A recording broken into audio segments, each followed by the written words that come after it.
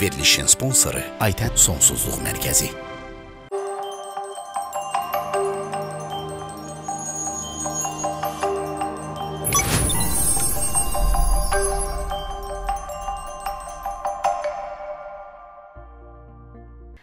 Can Güdənə Doktor Aytən Səfərova Sonsuzluq Mərkəzinin sponsorluğu ilə baxırsınız.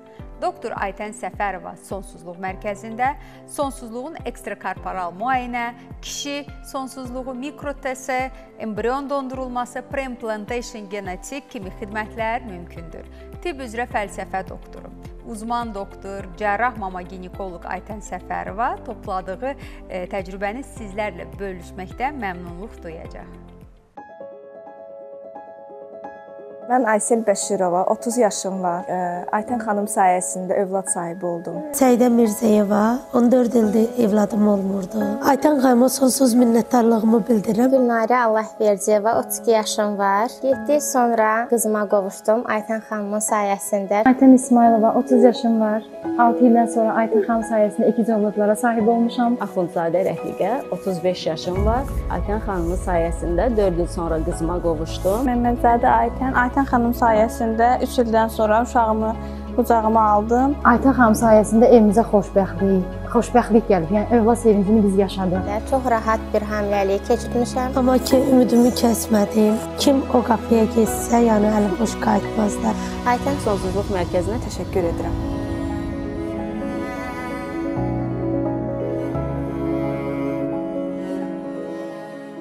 Hər vaxtınız xeyir, əziz tamaşaçılar. Xoş gördük sizləri. Ümid edirəm hər kəs yaxşıdır, özünüz yaxşısınız və biz bu günləri sizinlə çox maraqlı bir mövzunu müzakirə edəcəyik. Əminəm ki, bizim verilişimiz yararlı olacaq. Bu problemi ümid edirəm ki, az insanlar bu problemlə əziyyət çəkirlər, amma problemi olan insanlar da bir suallarına, beyinlərində olan suallara cavab tapmış olacaqlar. Studiyamızın qonağı Liv Vanade Hospitalının ümumi cərrahı, doçent doktor Emre Sivrikozdur. Xoş gəlmisiniz studiyamıza və siz bizim Azərbaycanda ilk dəfədir həm də. Evet. Vətənimizə də xoş gəlmisiniz. Sağ olun, təşəkkürlər. Ee, biz bu günləri yoğun bağırsaq xərçənglərindən, şişlərindən danışacağıq. Ümumiyyətlə e, kolon kanseri deyirsiniz. E, yoğun bağırsağın şiş, şişləri özünü necə göstərir? Kimlərdə daha çox rast gəlinir? Kimlər risk qrupundadır? Bir qısa olaraq bu haqqda danışaq. Tabii.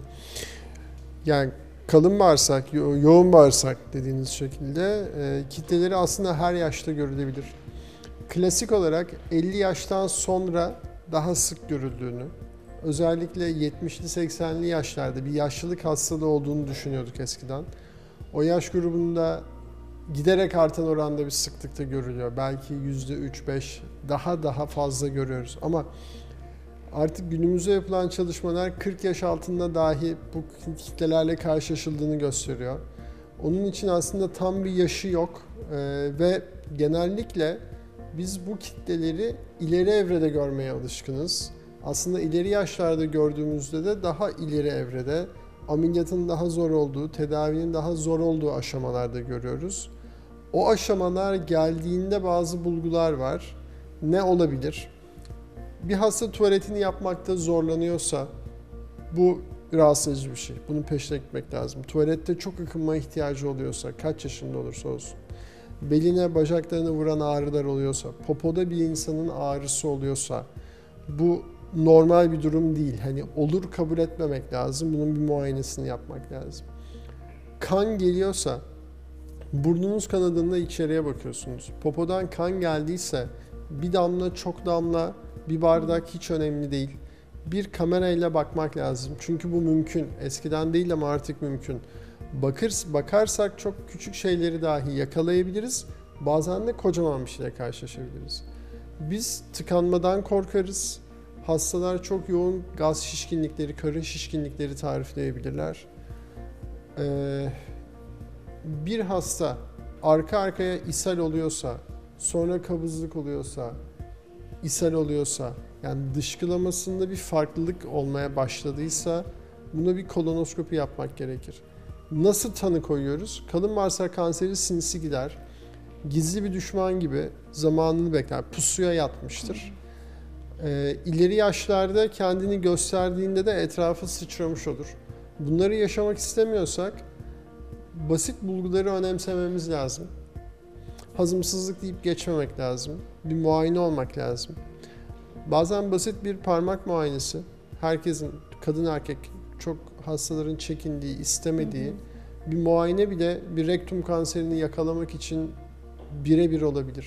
Yani hani 8-10 santimlik mesafedeki tüm kitleleri görme şansınız olur. E, muayene ederek hissedebilirsiniz. Onun yukarısındakileri görmek için de kolonoskopi gerekiyor. E, Kolonoskopi, e, kolonoskopini də siz edirsiniz. Kolonoskopiyi gastroenteroloji yapar Gastroenteroloji. genellikle. Ee, ben ameliyat edeceğim hastalar için ihtiyaç duyarsam yapıyorum. Ama rutin tarama amacıyla yakınmalarının değerlendirilmesi amacıyla öncelikle gastroenterologlar yapar. Ee, çünkü ameliyatlarda ona yetişme şansı yok ama biz ameliyat etmeyi planladığımız hastada özellikle bakmak istediğimiz bir şey varsa, görmek istediğimiz bir şey varsa veya hasta bize bir hemoroidle geldi ama kanama tarifliyor. O kanamanın peşine düşeceğiz. O hastaya zaten bir ameliyat planlıyoruz. O zaman bir kolonoskopisini yapmaya gayret ederiz aslında. E, bu diaqnoz qoyuldu. Yəni e, pasiyent gəldi və siz onda artıq bir e, şiş, xərçəng diaqnozu qoydunuz. Sonrakı etapımız nədir? Yəni protokol üzrə nə gəlir? Şöyle düşünün. Bu kitle sizin düşmanınız. Bu şişi ortadan kaldırmak lazım. Ee, düşmanınızla bir mücadeleye tutuşacaksınız. O mücadeleden önce istihbarat mı toplarsınız, kılıcı çekip saldırır mısınız? Ben önce istihbarat toplarım. Yani ne kadar zayıf, güçlü yanları ne, kuvvetli yanları ne onu anlamaya çalışırım. Tomografi çekerim, MR çekerim. Kitlenin nerede olduğuna göre, anatomik yerleşimine göre tetkik ederim. O tetkiklerle bir bilgi edinmeye çalışırım. İki amacım var. Kitle etrafa ne kadar yayılmış, hangi organlara değiyor. Yani ben onu ortadan kaldırırken başka organları sakrifiye etmem gerekecek mi? Bu ayrı bir konu. Bu ameliyat için cerraha lazım. Bir de bu sonuçta onkolojik bir şey. Kanser. Bu kan yoluyla yayılabilir. Karaciğere, akciğere, kemiğe gidebilir. Bir de bunu değerlendirmem lazım. Yani karşıma çıktığı esnada biz buna evreleme diyoruz. Bu evrelemeyi yaparak hastanın aşamasını anlamaya çalışıyoruz. O aşamayı anladıktan sonra da bu klinik evreleme. Aşamayı anladıktan sonra hastanın tedavisindeki öncelikleri belirlememiz lazım. Eğer sıçramalar varsa, metastazlar varsa hedefte öncelik onlardadır. Çünkü onlar daha güçlü düşmanlar. Önce o güçlü düşmanları sersemletmemiz lazım. Ama bazen metastazın olduğu, sıçramanın olduğu hastalarda tıkanma olabilir, kanama olabilir. Kitle durduğu yerde durmuyordur. Hastaya onkolojik tedavi verilmesine engel oluyordur. O zaman da o kitleyi bir an önce oradan uzaklaştırmak gerekir. Ama tedavide kabaca lokal durum ne, uzak durum ne, bu duruma karar verip hastayı değerlendirip hastanın öncelikli bulgusu nedir? Onunla bir sentez kurmak lazım. Nasıl yapıyoruz bunu? Konsey yapıyoruz. Onkologlar geliyor, cer- cerrahlar katılıyor, gastroenterolog geliyor, radyolog geliyor. Hep beraber konuşuyoruz hastayı. Herkes kendi fikrini söylüyor. Multidisipliner konsey. Və artıq qərar verilir ki, məsəl üçün siz əməliyyat etməlisiniz.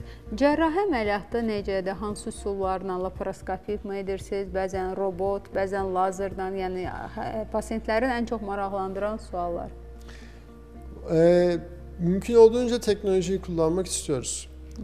Amaç hastada ameliyatın faydasından faydalanmak, ameliyatın olumsuz etkilerini azaltmak. Karnınızı boydan boya kestiğinizde daha sonra bir fıtık oluşabilir. Karın içerisinde yapışıklıklar olabilir. Dolayısıyla laparoskopi, robot bu açıdan çok faydalı. Bazen tümörler ters yerde yerleşir. Onları etraftan güzel kazımak gerekir. Sinirlere yakın gider. Bu tip hastalarda robot biraz avantajlı olur. Bazı hastalarda hibrit girişim gerekir. Laparoskopik başlayıp açık devam etmeniz gerekir. Ama en önemlisi hastayı anlamanız lazım. Anatomiye hakim olmanız lazım. Haritayı çıkartmanız lazım. Zihninizde de o planı yapmanız lazım. Bu bir düello değil. Maçı sahaya çıkmadan kazanmanız gerekiyor. Bu teknikler sizin o maçı uygularken sahadaki e, taktikleriniz doğru taktikle doğru şekilde maçı kazanırsınız. Ə, təşəkkür edirəm. Amma robot deyirsiniz, indi biz deyirik bir robot gələr, bir əməliyyat edər. Yəni robot texnologiyasının özəlliyi nədir? Endoskop, laparoskopiyadan nə ilə fərqlənir? Bir Tabii bizim ki. başa düşən dildə desək. Robot robot neyi sağlıyor? Robot ellerimizi mikroskopik olarak kullanmamızı sağlıyor. Yani elimizle yaptığımız hareketleri teknolojik olarak hastanın içinde ama kapalı bir ortamda yapmamızı sağlıyor. Elimize kazıyarak ilerliyoruz. Bu çok güzel bir şey. Ama kalın bağırsakta saha çok geniş. Robotun çok faydalı olduğu yerler var. Bazen ameliyatı çok uzattığı durumlar var. Ama en büyük faydası dokulara hani robotla yaptığınız şey şu. Böyle mikroskopla kafanızı ağzınızın içine sokup parmaklarınızla kullanarak mikroskopik bir ameliyat yaptığınızı düşünün. Robot size bunu sağlıyor. Laparoskopiye göre farkı bu. Ee, laparoskopinin güzel tarafı hareket alanınız hızlı. Kameraya da giriyorsunuz, yaklaşıp uzaklaşıyorsunuz, daha çok sağa sola dönüyorsunuz, hastanın başındasınız. Robotta cerrah ayrı bir yerde oturuyor, robot hastanın üstünde. Dar alanda çalışıyorsanız robot çok iyi. Ya- Yaklaşmakta zorlandınız, özellikle rektum gibi alanlarda robot faydalı. Yəni robot ə, robot texnologiyası daha çox incə, ə, sahəsi daha az olan yerlərdə Dar sahada işe yarar. Çünkü robotu bir yerden bir yere götürüp oradan tekrar geri getirmek vakit alır. Ama laparoskopide bir bilek hareketiyle bunu yapabilirsiniz. Amma ə, orqan daxilinə cihaz yeridilir də robotda. Efendim? Robotda hər hansı bir cihaz, alət yeridilirmi? E, Barmaqların yerinə deyirsiniz ki, Geçebilir. Ama robotta hissetmiyorsunuz. Görüntüyle hareket ediyorsunuz. Laparoskopide hissedebilirsiniz. Ee, robotik cerrahinin en büyük avantajı mikroskopik çalışmanız. Küçük bir alanda, dar, ulaşması zor bir alanda santim santim, milim milim ilerleyebilirsiniz. Ama ameliyat uzun sürer. Bunu göze almanız lazım. Çok ileri evre tümörlerde her zaman faydalı olmayabilir. Damara çok yakın böyle kanama riskinin yüksek olduğu hastalarda dikkatli olmak lazım. Çünkü robottan açığa dönerken cihazı çıkartmak 1-2 dakikada olsa vakit alıyor. Hani hastanın başında olmuyor cerrah. Ünitenin konsolun başından kalkıp hastanın başına gitmesi lazım. Çoğunlukla problem olmuyor bu. Ama hasta seçmeniz yani tamamen sizin hangi hastada kullanacağınızla alakalı. Ama faydalı mı? Evet. Dünya o yönde gidiyor mu? Evet. Ee, yararlı olduğu kesinlikle çok durum var. təşəkkür edirəm. E, düz bağırsağın e, şişlərindən danışaq. Yəni yoğun bağırsaqla düz bağırsaqda hansı e, belə deyək də tezlikdə, daha hansında daha çox şişlər rast gəlinir və burada müalicə metodu nədir? Düz bağırsak, ince bağırsak dediğimiz organda kitleler nadiren görülür.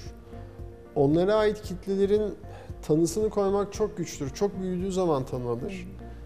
Etraf dokulara bası yaptığında, işte kanadığında, tıkandığında, patladığında ancak o zamanlarda tanı koyabiliriz. Ama e, şu an hani iyi tarafı nadir görülür, sık görülmez. Kolonoskopi gibi bir tarama yöntemi yoktur.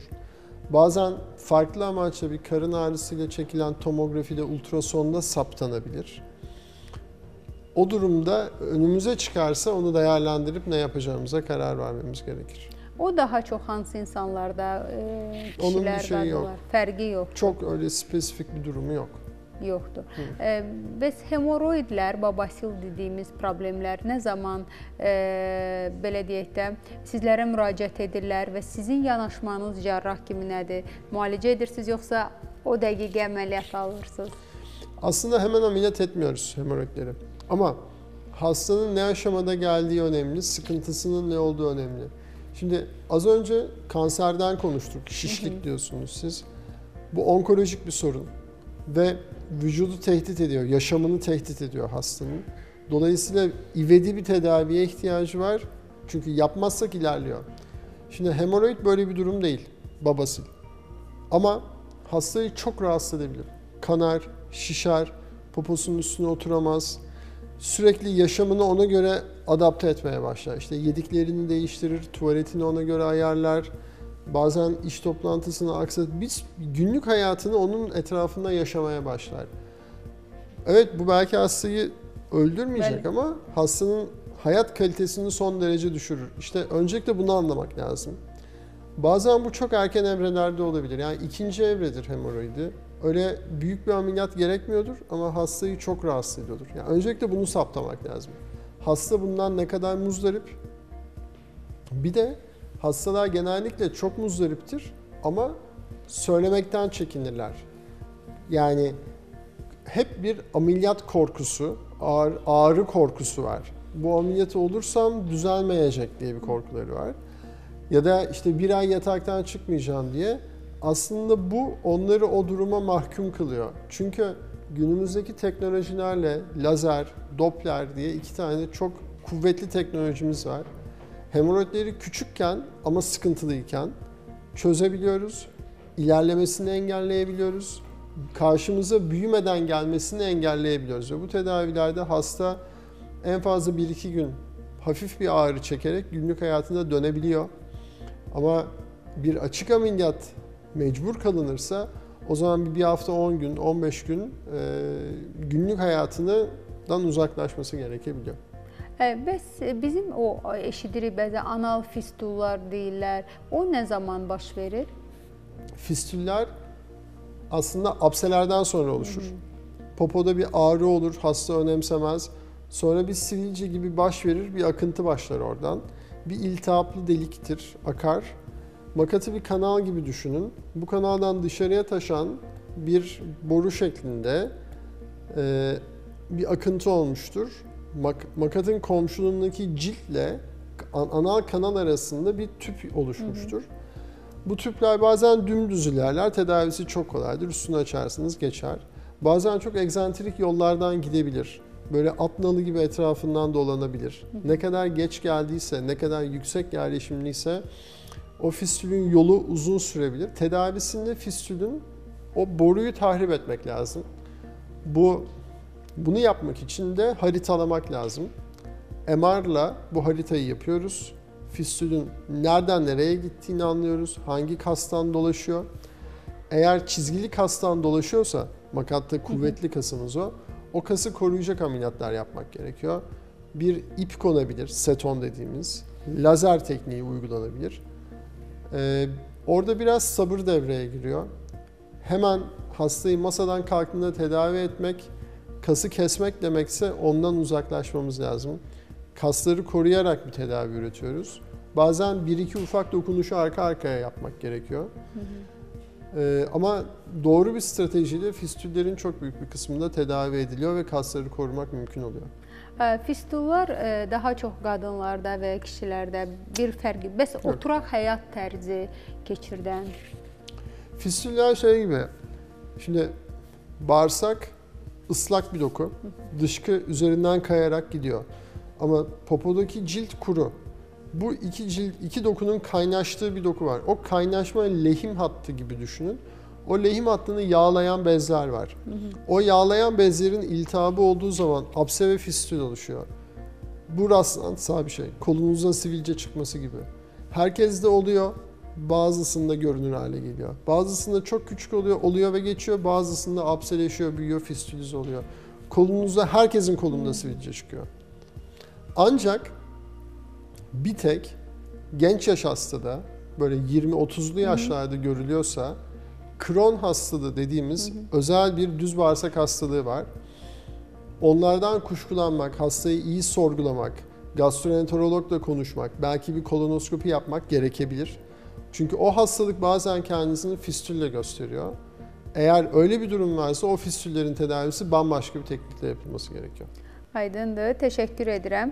Belə bir sualım var. Biz e, bağırsaq e, şişlərindən, xərçəngindən danışdıq, əməliyyatdan danışdıq. Əməliyyatdan sonra pasientin reabilitasiyası necə keçir? Normal həyatına necə keçir? Qayıdır və bəzən pasientlər görürük əllərində torbalarla gəzirlər. E, Yəni bu nə, nə zaman baş verir? Şimdi ameliyatta amaç her zaman bağırsakları ucuca dikmek ve yolun açık kalmasını sağlamak.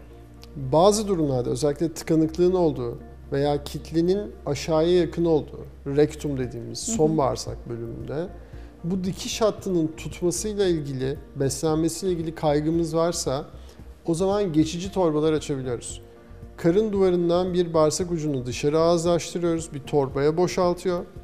Daha sonra bu torbaları kapatıyoruz. Bir 3 ay kadar bekleyebiliyoruz.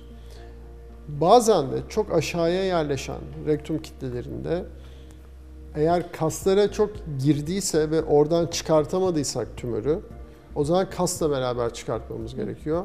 O noktada kolostomi denilen kalıcı torbalar açılabiliyor. Ama günümüzde özellikle şua tedavisi ve kemoterapiyle bu kitleleri o kaslardan uzaklaştırıp ameliyatla bağırsağı aşağıya bağlayacağımız dolayısıyla hastanın normal dışkılama fonksiyonunu koruyacak teknikleri yapmak çok büyük oranda mümkün oluyor. Ama işte bunun öncesinde hastanın rehabilitasyonundan önce hastaya doğru bir stratejiyle yaklaşıp ameliyat için sabırlı olup ameliyat öncesi tedavileri verip hastanın o tedavilerden sonra ameliyatını yapmak gerekiyor. Ə, təşəkkür edirəm. Təşəkkür edirəm studiyamıza gəldiniz. Bir daha sizi gözləyirik. Çox maraqlı söhbətlərimiz oldu və əminəm ki, insanlarımız üçün yararlı oldu. Sağ olun. Ə, hörmətli tamaşaçılar, bir daha qeyd edim ki, studiyamızın qonağı Liv Banade Hospitalının ümumi cərrahı doçent doktor Emre Sivrikoz idi. Bizi izlədiyiniz üçün təşəkkür edirəm. Cangüdən davam edir.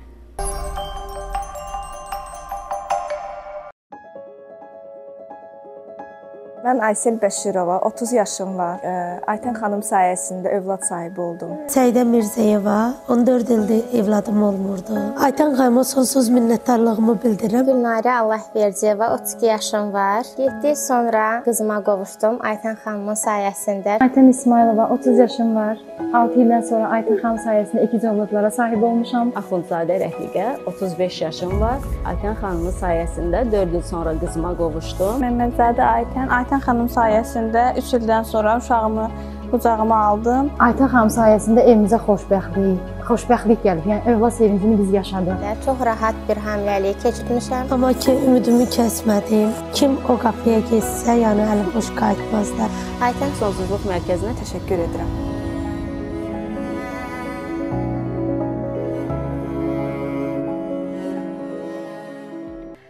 Can Güdənə doktor Aytən Səfərova Sonsuzluq Mərkəzinin sponsorluğu ilə baxırsınız. Doktor Aytən Səfərova Sonsuzluq Mərkəzində sonsuzluğun ekstrakorporal müayinə, kişi sonsuzluğu, mikrotese, embrion dondurulması, preimplantation genetik kimi xidmətlər mümkündür. Tibb üzrə fəlsəfə doktoru, uzman doktor, cərrah mama ginekoloq Aytən Səfərova topladığı e, təcrübəni sizlərlə bölüşməkdən məmnunluq duyacaq. Verilişin sponsoru Aytən Sonsuzluq Mərkəzi. Studiyamızın qonağı Yasamal Hospitalın ümumi cərrahı doktor Ramil Nadirovdur. Xoş gəlmisiniz. Xoş gördük doktor. Bu gün əslində maraqlı mövzudur bu yırtıqlar haqqında. Yəni kişilərdə, qadınlarda da rast gəlinir. Ümumi olaraq bu haqqda danışaq. Mən bilirəm ki, siz artıq xəstələr haqqında da bizə geniş məlumat verəcəksiniz. Ümumiyyətlə qarın yırtığı nədir? Yırtıq dedikdə qarın daxili orqanların periton boş periton qişası ilə birlikdə qarnın ön divarında olan zəif nöqtələrdən dəri altına çıxmasına deyilir.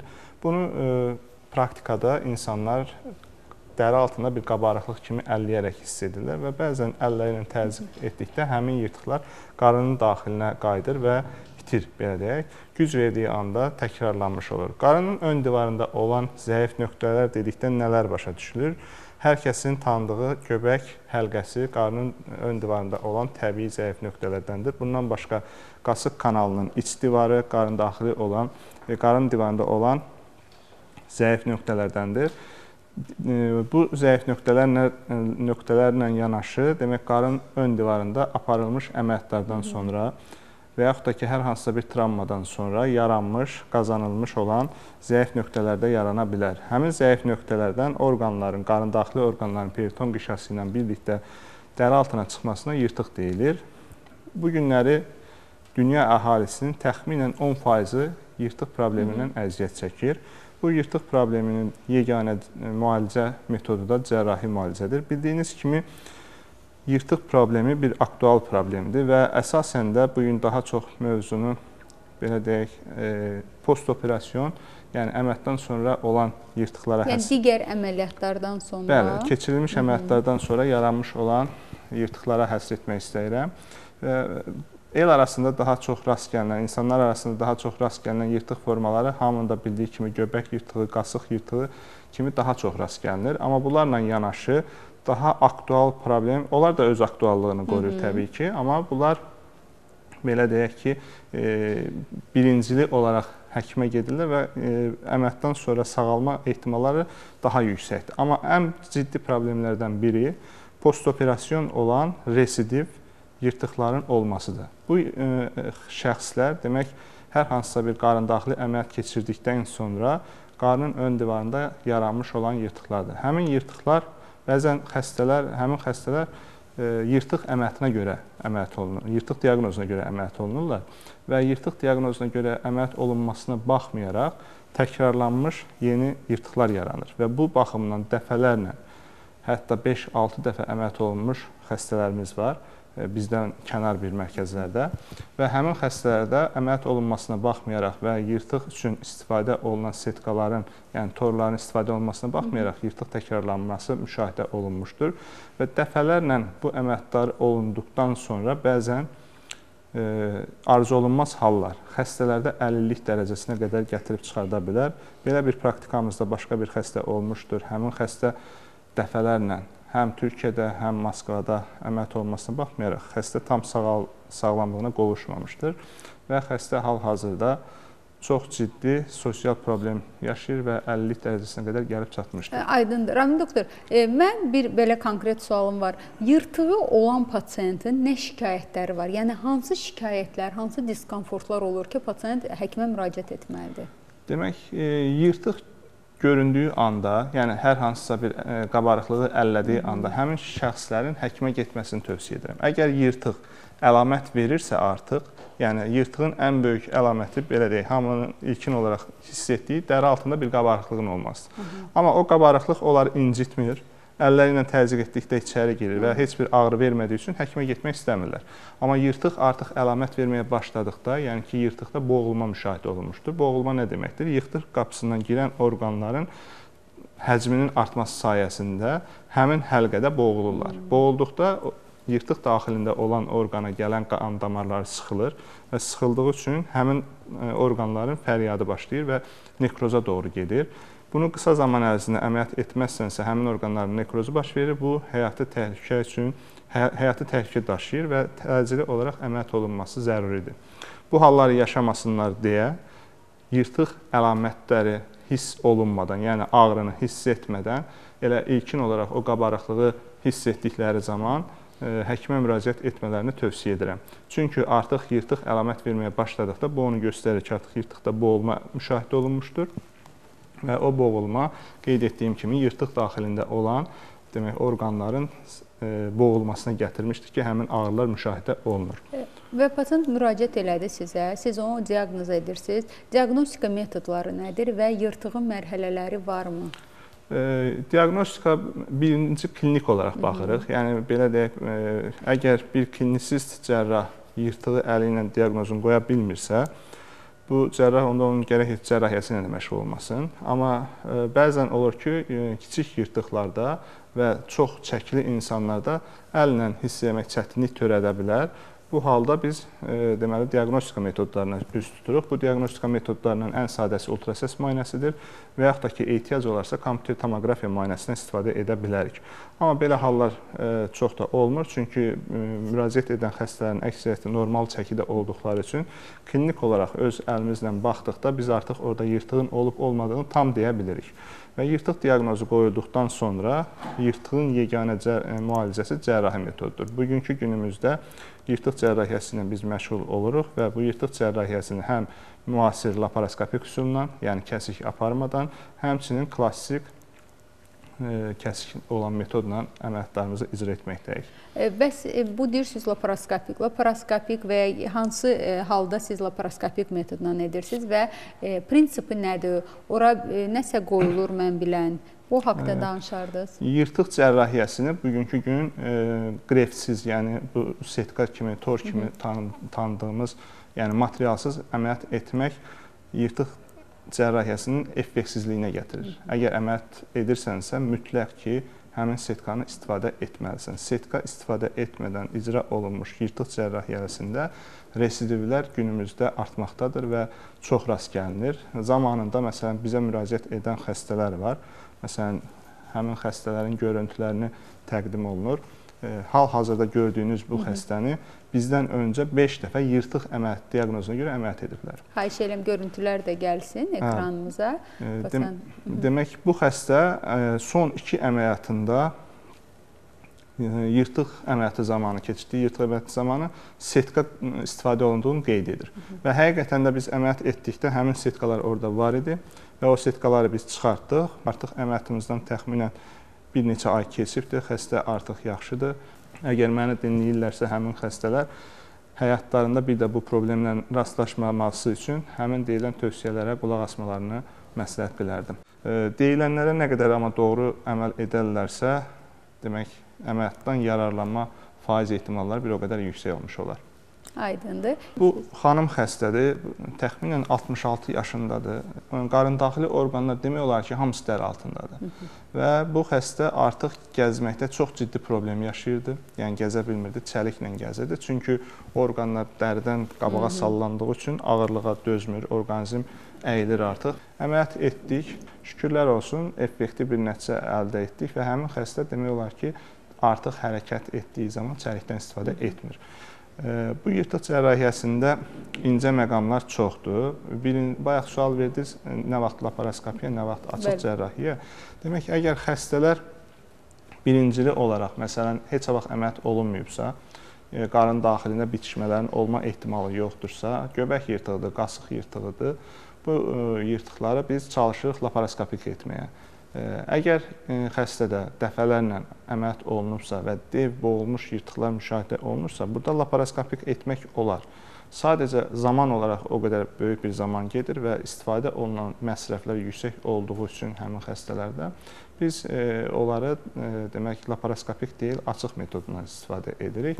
Həmçinin əgər qasıq yırtığından bir və ya bir neçə dəfə xəstə əməliyyat olunubsa, həmin xəstəni təkrar açıq əməliyyat etməyin adı yoxdur, çünki təkrarlanma ehtimalı yüksəkdir. Həmin xəstələrə də biz laparoskopik üsulla əməliyyat etməyi tövsiyə edirik.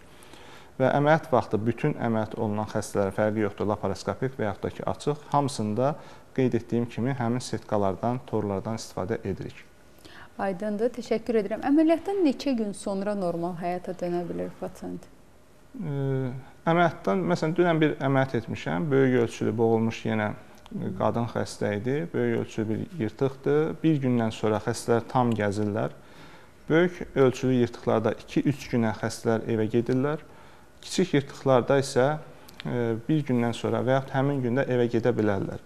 Əgər xəstəni beynəldaxili narkozla əməliyyat ediriksə, həmin gün onları evə yola sala bilərik. Yox, əgər spinal narkozla əməliyyat edəriksə, Bu halda xəstə mütləqdir ki, bir gün klinikada qalsın. Həmin əməliyyatları biz spinal anesteziya altında edirik. Xəstələrin huşu özündə olur və e, xəstə yalnız ağrı hiss etmir. Əməliyyatdan e, 8 saat sonra həmin xəstələrə gəzdiririk. Bir gün sonra isə evə yola salırıq. Aydındır. Növbəti pasientimizi təqdim edin. Qeyd etdiyim kimi yırtıq problemi e, bir sosial problemdir həmçinin də. Yəni e, həmin e, xəstəmiz e, xanım xəstədir yenə müğənnidir peşə olaraq və bu peşə fəaliyyətinə daha çox mane olan səbəblərdən biri də yırt, qarın daxili yırtıqların olmasıdır. Çünki bunlar yüksək səslə oxuduqda bəli qarın daxili təzyiq artır və həmin yırtıqlar daha da böyüyür və yırtıq ağrıdığı üçün həmin anda həmin insanların istər-istəməz oxuması mümkünsüz olur. Ona görə müğənnilərdə belə yırtıqların olması belə deyək, onların peşə fəaliyyətinə də mane olur. Bu üzdən həmin xanım xəstədə uzun müddətli bir, iki dəfə əməliyyat olunmuşdur, yırtıq, yırtıq əməliyyatı. Buna baxmayaraq xəstədə təkrarlanmış yırtıq müşahidə olunmuşdur. Əməliyyatdan sonra hal-hazırda xəstəmizin vəziyyəti yaxşıdır. Düşünürəm ki, gələcəkdə öz sənətinə də qayıtmış olacaq. Aydındır. Bəs bu dediniz xanımlarda, ümumiyyətlə xanımlar və kişilərlə müqayisədə kimdə daha çox rast gəlir? Bəli, əgər müqayisə etsək, məsələn, göbək yırtıqları xanımlarda kişilərə nisbətən daha çox rast gəlinir. Bu nə ilə əlaqəlidir? Xanımlar dəfələrlə hamiləlik keçirdiyi üçün qarın ön qrup əzələləri dartılır və boşalır. Buna bağlı olaraq göbək həlqəsində zəif nöqtələr əmələ gələ bilər və qarındaxili təzyiqin artması sayəsində həmin zəif nöqtələrdən qarındaxili orqanlar bayıra çıxma ehtimalı yüksəkdir. Kişilərdə isə qasıq yırtığının rast gəlmə tezliyi qadınlarla nisbətdə demək 3 dəfə 3-ün 2-yə nisbətindədir. Yəni kişilərdə 3 dəfə daha çox demək rast gəlinir qasıq yırtığı. Postoperasiyon yırtıqlar e, çünki e, daha çox qadınlarda rast gəlinir mənim praktikamda. Bu nə ilə əlaqəlidir? Qadınların daha çox keseriya əməliyyatından sonra Hı. yaranmış yırtıqları daha çox müşahidə edirik və bu yırtıqları çalışırıq biz laparoskopik edək. Çünki keseriya əməliyyatından sonra qarın daxilinə çox müdaxilə olunmadığı üçün həmin nahiyədə bitişmələr çox olmur və işləmək üçün müəyyən bir boşluq əldə etmiş oluruq və həmin boşluq bizə laparoskopik işləməyə imkan verir. Kişilərdə isə postoperasiyon yırtıqlar daha çox rast gəlinir. Çünki qeyd etdiyim kimi kişilər fiziki ağır işlə daha çox məşğul olurlar. Bəzən isə həmin insanlar o ağır işlərdən qaçması mümkünsüz olur. Bunların həyat tərzi olduqları üçün və onlarda postoperasiyon yırtıqların fəsadlaşması daha çox rast gəlinir. Yəni kişilərdə daha ağır gedişatlı olur. Amma qadınlarda rast gəlmə ehtimalı mənim praktikamda daha çoxdur. Aydındır, təşəkkür edirəm. Onda belə çıxır ki, hər hansı bir xəstəlik, cərrahi əməliyyat, daxili orqanların əməliyyatı gecikdirilməmiş formada laparoskopik olmalıdır ki, gələcəkdə yırtıq da olmasın. Bu gün günümüzdə belə deyək, laparoskopiyanın mövcud olması, bəli, böyük həcmli kəsiklərə artıq üst tutmuruq. Bu günləri biz kiçik kəsiklərlə böyük əməliyyatları qarın daxilində icra edə bilirik. Bu əməliyyatlara qaraciyər rezeksiyası, qaraciyərdə olan exnokoklar, e, mədə-bağırsaq cərrahiyyəsi, yırtıqlar olsun, ginekoloji cərrahiyyə olsun, uroloji cərrahiyyə, bunlar hamısı artıq günümüzdə laparoskopik icra olunmaqdadır və artıq e, həmçinin e, tiroid cərrahiyyəsində biz laparoskopik etməyə başlamışıq, bunu da vurğulayım. Bu bizə bəli, gələcəkdə postoperativ yırtıqların əmələ gəlmə faiz ehtimalını azaldır. Amma yox demək deyil, çünki e, bir çox mərkəzlərdə demək e, laparoskopiya əməliyyatlardan sonra həmin əməliyyat yerlərində yırtıqların olması müşahidə olunan e, deməli xəstələr təqdimatını görmüşəm. Aydındır. Bir dənə də belə maraqlı sual oldu. O deyirsiniz ki, qarın boşluğuna əzələ arasına da tor qoyulur. O torun materialı nədir? O sorulurmu, yoxsa əzələyə bitişir? Çox aktual sualdır. Bugünkü günümüzdə daha çox istifadə olunan torlar sintetik torlardır. Bu niyə daha çox istifadə olunur? Torlar ümumiyyətlə 3 qrupa bölünür. Sintetik, orqanik və yarım sintetiklər. Sintetiklərin çox istifadə olunmasına səbəb onların maddi olaraq daha ucuz başa gəlməsidir. Orqanik e, torlar daha çox bahadır qiymətə satılır. Çünki onların maliyyəti də bahadır və bunlar hamısı bildiyiniz kimi xarici ölkələrdən gətirilir. Daha keyfiyyətli olması üçün daha keyfiyyətli firmaların məhsulunu almalısan və bu ə, e, keyfiyyətli firmaların məhsulu da digərləri ilə müqayisədə hətta 2, 3, bəzən 10 dəfəyə yaxın baha olurlar. Çox ciddi bir rəqəmlərdir orqanik setkaların qiyməti. Sintet yarım sintetiklər isə həm sintetiklə sorulan setkalardır. Bunlar da sintetik setkalara nisbətən bir qədər bahadır, amma istifadə olunur.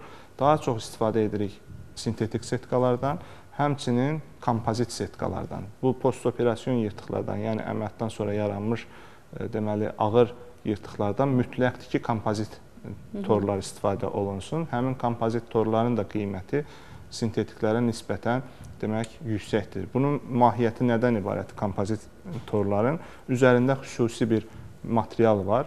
Həmin materialla e, qarındaxili orqanların, əsasən nazik bağırsaq və yoğun bağırsağın bitişməsi müşahidə olunmur. Setkaların çatışmayan cəhətləri sintetik setkaların həmin bitişmələr sayəsində qarındaxili orqanlara invaziya edir. Hətta onların kənarları həmin orqanların dəlinməsinə, kəsilməsinə gətirə bilər ki, ciddi fəsadlaşma peritonitlə və xəstənin tələfatı ilə müşahidə oluna bilər.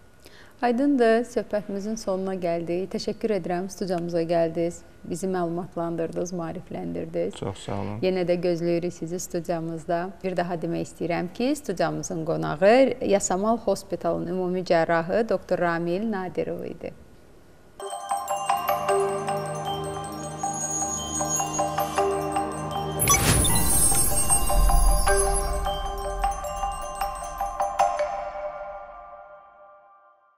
Verilişin sponsoru Aytən Sonsuzluq Mərkəzi.